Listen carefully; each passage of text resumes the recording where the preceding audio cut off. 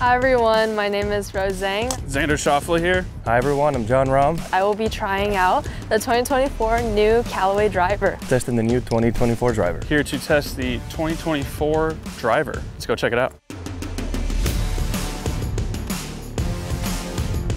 Let me introduce you to the all-new 24 AI Smoke driver. AI Smoke.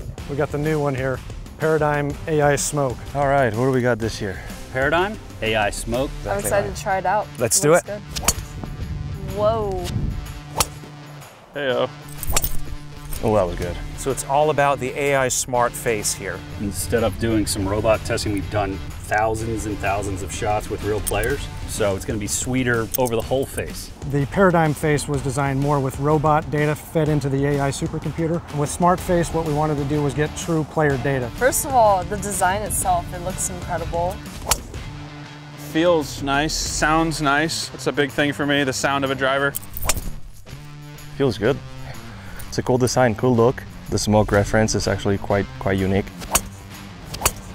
I can see myself even if I don't hit good contact, Yeah. it'll still somewhat be in that ballpark area. So I really like it. I really like how it sets up.